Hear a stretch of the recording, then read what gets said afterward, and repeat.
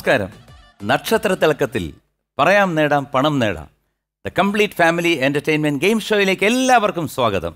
ഇന്നലത്തെ എപ്പിസോഡിൽ സയനോര ഒരുപാട് പാട്ടുകൾ പാടി. കേട്ടത് മനോഹരം. ഇനി അതിമധുരം വീണ്ടും വരുന്നു. വിളിക്കട്ടെ. സ്നേഹപൂർവം സയനോര.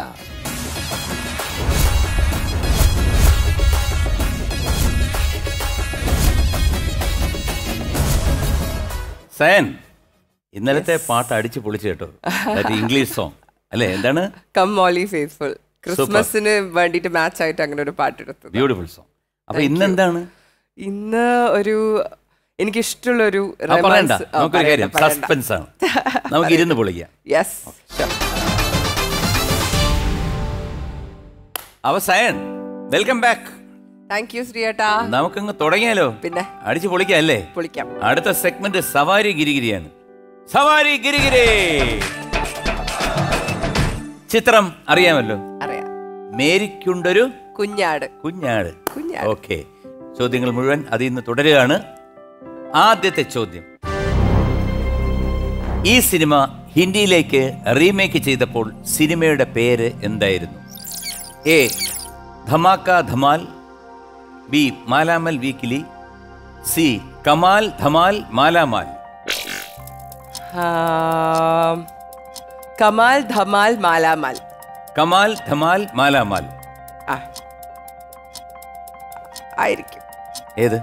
മറ്റേത് രണ്ടും അല്ലാതെ എനിക്കറിയാം. അപ്പൊ സി? സി കമാൽ ധമാൽ മാലാമാൽ. എന്തരോ അത് തന്നെ അല്ലേ? ശരി സി കമാൽ ധമാൽ മാലാമാൽ ഞാൻ എടുത്ത് വെച്ച് പൂട്ടി ഓക്കെ. കല്യാണം കഴിക്കാൻ വേണ്ടി തടി കുറച്ചു. കല്യാണം കഴിക്കാൻ വേണ്ടിയിട്ടല്ല തടി കുറച്ച്. തടി ഉറക്കാൻ വേണ്ടി പോയപ്പം. ജിമ്മിൽ പോയി. ജിമ്മിൽ പോയി. അങ്ങനെ? കല്യാണം എത്ര വർഷം? ജിമ്മിൽ എത്ര വർഷം പോയിന്നാ? ഉം. ഒരു മാസേ പോയിട്ടുള്ളൂ. അത്രേ ഉള്ളൂ? അല്ല ആ സമയം. കല്യാണത്തിന് വേണ്ടിയിട്ടുള്ള അല്ല ആ സമയം ഒരു ആ സമയമാണ് സ്റ്റാർട്ട് ചെയ്തത്. അപ്പൊ അങ്ങനെ ജിമ്മിൽ ഒരു രണ്ട് രണ്ട് ഒരു മാസം. അത് രണ്ട് മാസം. എനിക്ക് തോന്നുന്നു ഒന്ന് രണ്ട് മാസത്തിനുള്ളിൽ കല്യാണം ഫിക്സ്ഡ് ആയിരുന്നു. അപ്പൊ ഈ കല്യാണം കഴിക്കുന്നവർക്ക് എല്ലാവർക്കും ഇതൊരു ടിപ്പാണോ ജിമ്മിൽ പോണോന്ന്. അയ്യോ അങ്ങനെയൊന്നും ഇല്ലപ്പാ അല്ല ജിമ്മിൽ പോയല്ലേ തടി കുറഞ്ഞത്? തടി കുറഞ്ഞോ? ആ അല്ലെ കുറയ്ക്കാൻ വേണ്ടിട്ടല്ലേ പോയത്? കുറയ്ക്കാൻ വേണ്ടിട്ടാ പോയത്. തടി കുറഞ്ഞോ ചോദിച്ചാൽ അതെനിക്ക് പറയാൻ പറ്റൂല. അല്ല എങ്ങനെയാണ് ഈ ഭക്ഷണ ക്രമീകരണങ്ങൾ എങ്ങനെയാണ്?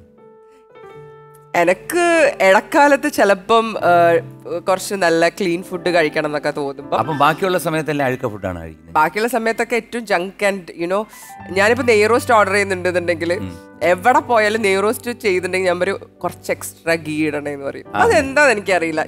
അത് എപ്പോഴും എനിക്ക് അങ്ങനത്തെ ഈ ഓയിലി അങ്ങനത്തെ ഫുഡിനോട് ഭയങ്കര ഇഷ്ടമാണ് മട്ടൻ ആണെങ്കിൽ അതിന്റെ കൊഴുപ്പ്. സത്യം. എക്സാക്ട്ലി അതിന്റെ ഒരു ടേസ്റ്റ് വേറെയാണ്. പക്ഷെ അതുകൊണ്ട് തന്നെ എന്റെ ശരീരം അങ്ങനെ എപ്പോഴും നിൽക്കും. പിന്നെ എല്ലാം നന്നായിട്ട് കഴിക്കണമുണ്ട്. അല്ല അതൊരു ഭാഗ്യമാണ് അതെ. എല്ലാരും പറയും കുറച്ച് കഴിക്കണം. കാരണം അല്ലെങ്കിൽ കൊളസ്ട്രോൾ വരും മറ്റേത് വരും മറിച്ച് വരും എന്തായാലും വരും. എന്തായാലും വരും. ഇതൊന്നും കഴിച്ചിട്ടില്ലെങ്കിലും വരും.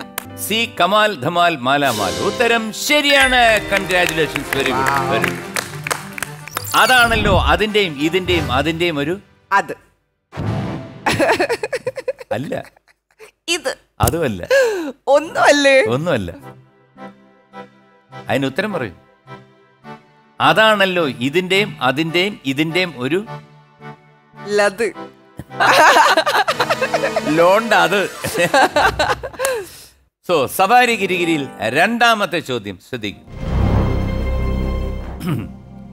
ഒരു വീഡിയോ പഞ്ചാര ചിരി കൊണ്ട് കണ്ണാടി കവിളത്ത് തിരയിടുമേഴു നിറം.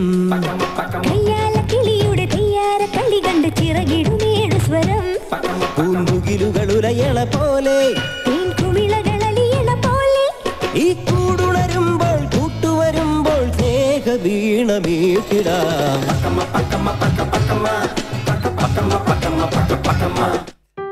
പെപ്പി സോങ് ഈ ഗാനം ആലപിച്ചിരിക്കുന്ന ആരാണ്? A Franco Sithara B Vidhu Prathap Sujatha C Shankar Mahadevan Rimi Tomy. Definitely Franco and Sithara ഉറപ്പാണെങ്കിൽ ഞാൻ എടുത്ത് ഉറപ്പാണ്, വെച്ചു ഏ ഫ്രാങ്കോ ആൻഡ് സിത്താര പൂട്ടി വെച്ചിരിക്കുന്നു. അവിടെ കൂട്ടി. വെച്ചോ? നമ്മുടെ റിമി ടോമി ഒന്നും കാണാറില്ലേ? റിമി ഇടയ്ക്ക് മെസ്സേജ് ചെയ്യാറുണ്ട്. എന്താണ് മെസ്സേജ് ചെയ്യുന്നത് എന്തൊക്കെയാണ് വിശേഷങ്ങൾ കോവിഡിന്റെ ടൈമിലൊക്കെ ഇടക്കിടക്ക് മെസ്സേജ് ഒക്കെ ചെയ്യാറുണ്ടായിരുന്നു. പിന്നെ ഞാനും റിമി ഇപ്പം ഒരേ യോഗ മിസ്സിന്റെ അടുത്താണ് പഠിക്കുന്നത്. ഓൺലൈനിലാണ് പഠിക്കുന്നത്. ഇപ്പൊ താര മാമിന്റെ അടുത്ത്. അപ്പൊ അങ്ങനെ ഇടക്കിടക്ക് അവളെ ചീത്ത പറയുമ്പോ എനിക്കിവിടെ കേൾക്കാൻ പറ്റും. എന്റെ ചീത്ത വിളിക്കാൻ അവൾക്ക് അവിടെ കേൾക്കാൻ പറ്റും അങ്ങനെ. ഇപ്പൊ റിമി എങ്ങാണ്ട് യാത്രയൊക്കെ പോകാൻ പോണെന്ന് ആണോ? കാരണം ഒരുപാട് സ്ഥലങ്ങളിൽ ഇങ്ങനെ ബ്ലോഗ് ചെയ്യാനും ആ വ്ലോഗിങ് ചെയ്യുന്നുണ്ട് ഇപ്പം. അതെ അതെ. യൂട്യൂബും കാര്യങ്ങളൊക്കെ ആയിട്ട്. ഞാൻ ലേറ്റസ്റ്റ് ആയിട്ട് അറിഞ്ഞ് തുർക്കി പോകാൻ പോകണം ഓ ശരി. അറിഞ്ഞിട്ടില്ല അവിടെ ഭയങ്കര വെടിവെപ്പൊക്കെ നടന്നോണ്ടിരിക്കുക ടോക്കിയിലോ? ആ. ഞാൻ പോയിട്ടുണ്ട് കേട്ടോ. ഓ തുർക്കിയിൽ പോയിട്ടുണ്ട്? ഞാൻ പറഞ്ഞല്ലോ നേരത്തെ ഞാൻ ഒരുപാട് സ്ഥലങ്ങൾ പോയിട്ടുണ്ട്. മറ്റേ ഹോട്ട് ബലൂൺസിൽ കയറിയിട്ടുണ്ടോ? എല്ലായിടത്തും പോയി. അവിടുത്തെ ബ്ലൂ മോസ്ക് എന്ന് പറഞ്ഞിട്ടൊരു വലിയൊരു പള്ളിയുണ്ട്. അവിടെ വെച്ചൊരു വലിയൊരു സംഭവം ഉണ്ടായി. അതായത് ഞാനിങ്ങനെ അവിടെ മുഴുവൻ കറങ്ങി നടന്ന് ഞാനും വൈഫും കൂടെ അവിടെ ഹിൽട്ടണിലാണ് താമസിച്ചത്. നല്ല ഫുഡ് കറങ്ങി കറങ്ങി ഇങ്ങനെ ഒരുപാട് സ്ഥലങ്ങളിൽ പോകണം ഒരു ബാഡ് ഹാബിറ്റ് ഞാൻ അവിടെ കണ്ടത് എല്ലാവരും സ്മോക്ക് ചെയ്യും. ഈ സ്മോക്ക് എന്ന് പറഞ്ഞാൽ നമ്മൾ സാധാരണ രീതിയിൽ ഒരു ഒരു പാക്കറ്റ് സിഗരറ്റ് പോക്കറ്റിലിട്ടിട്ട് ഒരെണ്ണം എടുത്ത് സ്മോക്ക് ചെയ്യും. പിന്നെ ബാക്കിയെല്ലാം ഇത് കഴിയുമ്പോൾ അവിടെ അങ്ങനെയല്ല. അവർക്ക് രണ്ട് പാക്കറ്റ് പോക്കറ്റിന് വേണം ഒരു പാക്കറ്റ് കയ്യിലും വേണം. അതിങ്ങനെ ഒന്ന് കഴിയുമ്പോൾ ഒന്ന് ഇങ്ങനെ വലിച്ചുകൊണ്ടേയിരിക്കും പിന്നെ അവിടെ ചില ഐലൻസ് ഉണ്ട്. അവിടെ കാറും ഓട്ടോറിക്ഷ ഒന്നുമില്ല. കുതിര മാത്രമേ ഉള്ളൂ. കുതിര സവാരി മാത്രമേ ഉള്ളൂ. അടിപൊളി.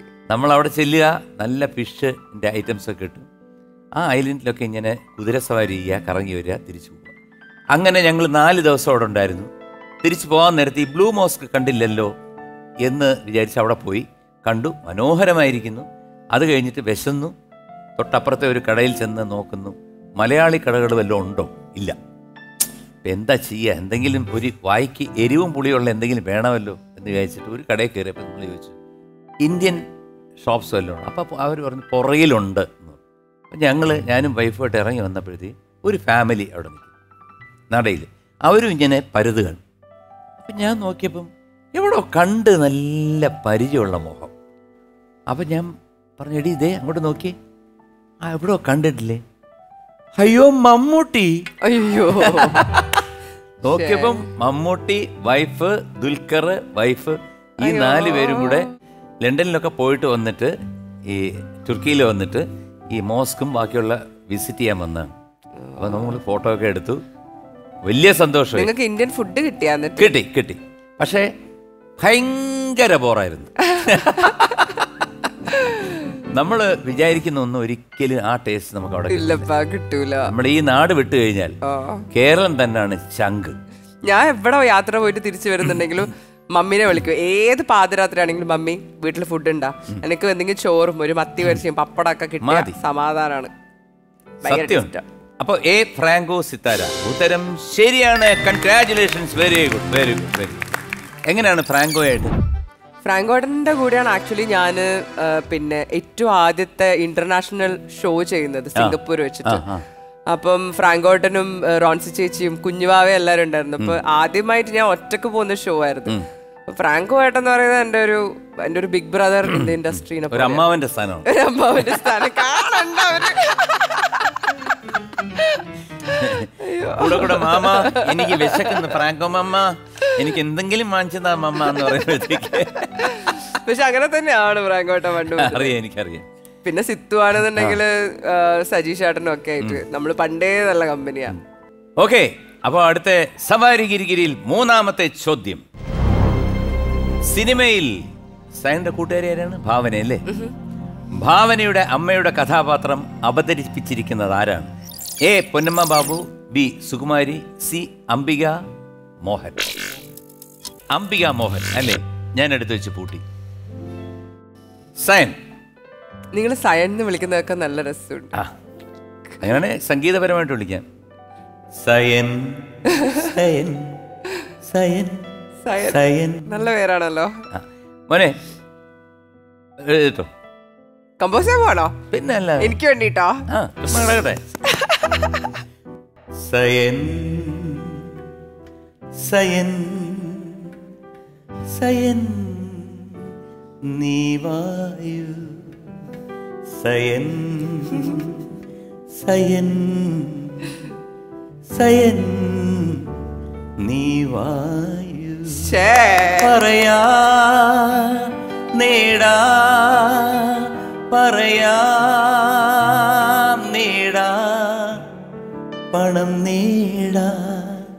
സയൻ നേടാൻ ഓ. സയൻ. ശ്ശേ.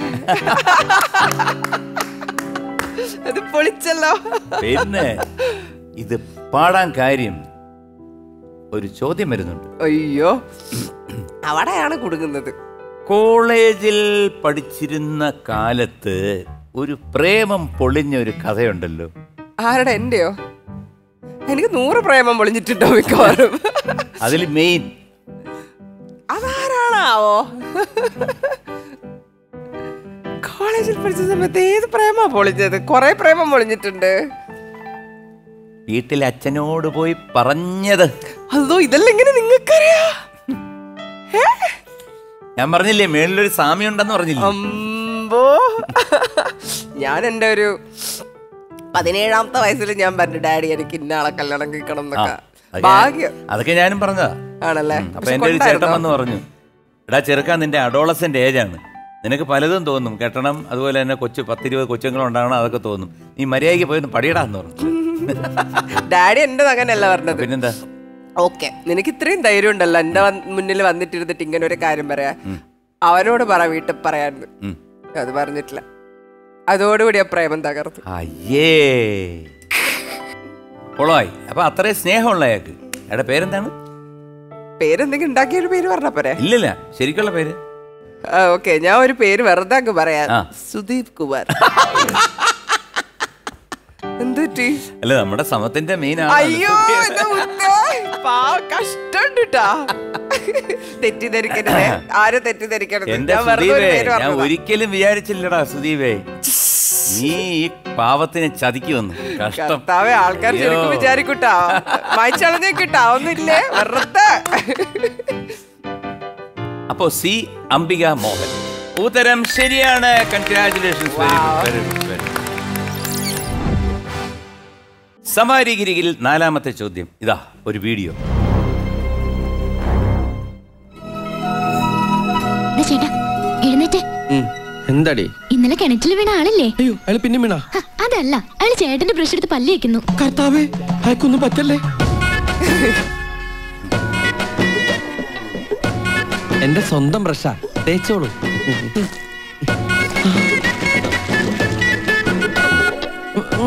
വെച്ചോളൂ. എന്നും തേക്കുമ്പോ എന്നെ ഓർത്താ മതി.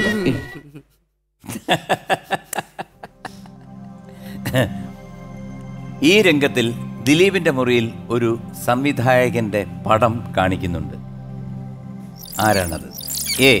Priyadarshan B. Lohithadas C. Sathyan Anthikad. ഞാൻ സത്യം പറഞ്ഞ ശ്രദ്ധിച്ചിട്ടില്ല. അങ്ങനത്തെ ക്വസ്റ്റ്യൻസ് വരുന്നു ഞാൻ വിചാരിച്ചിട്ടില്ല. അതാണ് ഞാൻ ആദ്യമേ പറഞ്ഞില്ലേ എല്ലാം ഓക്കെയാണ്. ഇതിന്റെ ഇടയിൽ ഇങ്ങനത്തെ ചില കൃമാണികൾ കയറി വരും. ഭയങ്കര പ്രശ്നം. പ്രിയദർശൻ? എനിക്കിഷ്ടമാ പ്രിയനെ. ഞാൻ എടുത്തു വെച്ച് പൂട്ടാം. ഏ പ്രിയദർശൻ. ഞാൻ എടുത്തു വെച്ച് പൂട്ടി. ആ സുദീപ് ഇപ്പൊ ഇത് കേട്ട് തുമ്മുമായിരിക്കും വീട്ടിലിരുന്ന് തുമ്മി തുമ്മി തുമ്മി നല്ലൊരു മനുഷ്യനാണ് കേട്ടോ. അയ്യോ ആ സുദീപ് അല്ല ഈ സുദീപ്. ഞാൻ വെറുതെ ഒരു പേര് പറഞ്ഞു അല്ല ഞാൻ നമ്മുടെ സുദീപിന്റെ കാര്യമാണ് പറഞ്ഞത് വെറുതെ പറഞ്ഞ കേട്ടോ. സുദീപെ പേടിക്കണ്ടേ? ധൈര്യമായിട്ട്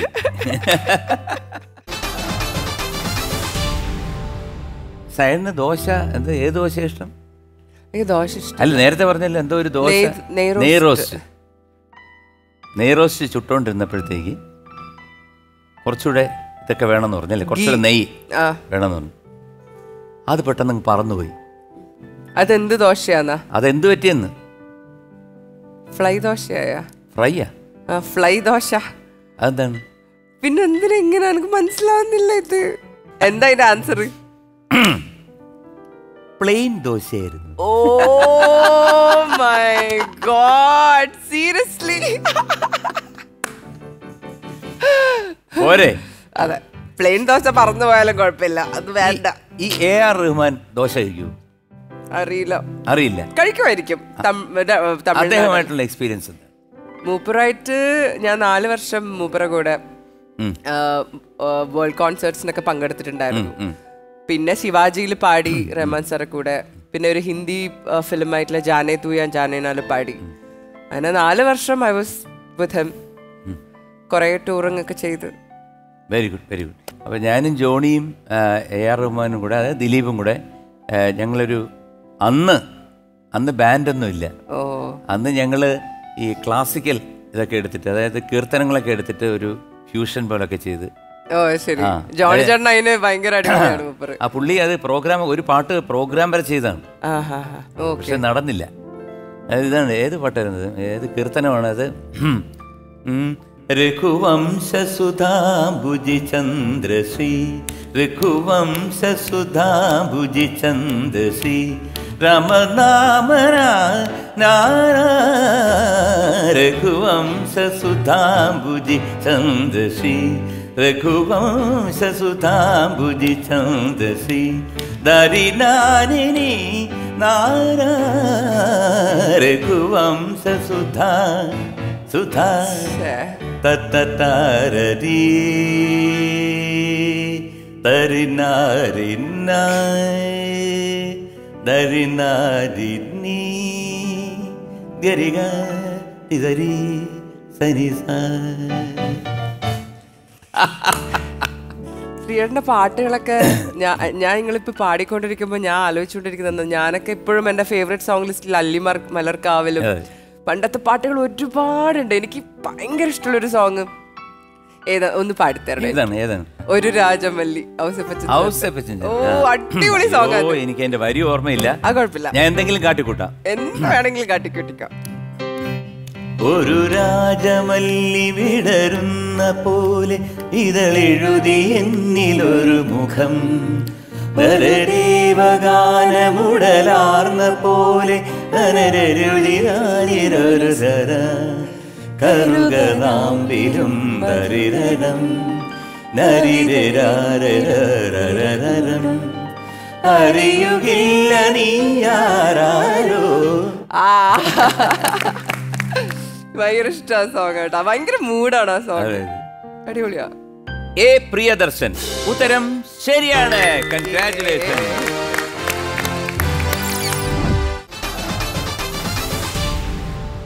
so the last segment Rajamanikyam. Rajamanikyam. ഒരു ചോദ്യം. നോ ഓപ്ഷൻസ് ടെൻ സെക്കൻഡ്സ് ഓ അങ്ങനെയാണോ.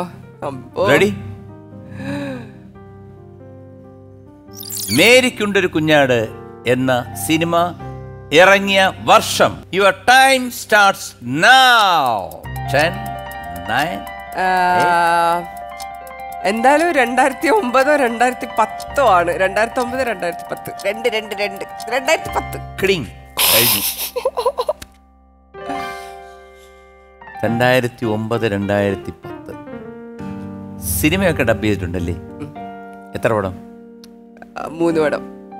മൂന്നാമത്തെ പടം ഇപ്പൊ ഡബ് ചെയ്ത് റീസെന്റ് ഒന്ന് തൃശക്ക് വേണ്ടിയിട്ട് ഹേജിയൂഡിൽ ഞാനാണ് ഡബ് ചെയ്തത്.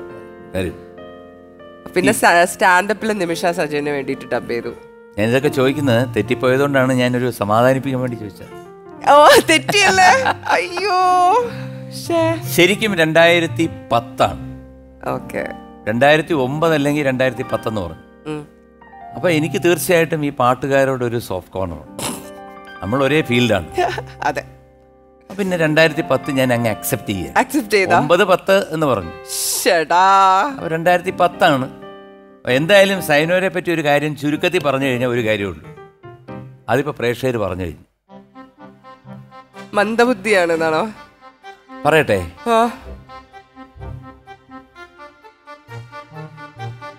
പറയട്ടെ. പറ. അങ്ങനെ തന്നെ പറയട്ടെ. മന്ദബുദ്ധി എന്ന് പറയട്ടെ. ഡബിങ് പാട്ട് മ്യൂസിക് ഡയറക്ഷൻ അഭിനയം. അഭിനയൊന്നുമില്ല. അഭിനയം ആയിട്ടില്ല. വരുമായിരിക്കും. അപ്പൊ ഇനിയിപ്പോ എല്ലാ സകലകല വല്ലഭ എന്ന് പറയുമ്പോ ഒരു പേരേ ഉള്ളതിന് വേറൊന്നുമില്ല. Scion is എ പുപ്പുലി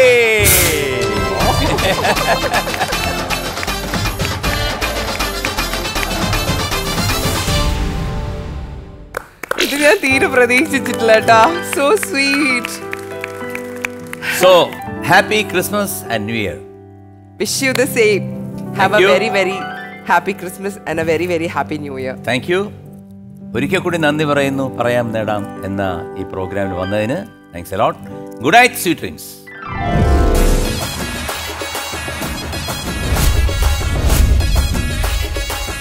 വളകിലുക്കം കേട്ടടി തളകിലുക്കം കേട്ടടി മണിക്കുയിലിൻ പാട്ടിലെ കിലുകിലുക്കം കേട്ടടി. നിങ്ങൾ എല്ലാവരും ജോൽസിന് അടുത്തൂടെ പോവാണെ പറയാം. ഓ മാവലസ്. സൽമ ഹൈക്ക് തോറ്റു പോവെന്ന് പറഞ്ഞാൽ?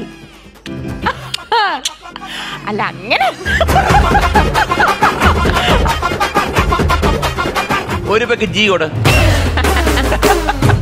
പോ പോ പൊമ്മൻ ടോൺ నన్ను రారమ్మంటోందా ఈ మనసేమంటోందా నీకైనా తెలిసిందా ഞാൻ പണ്ഡിതനല്ലെങ്കിലും കുണ്ഡിതനായിരുന്നു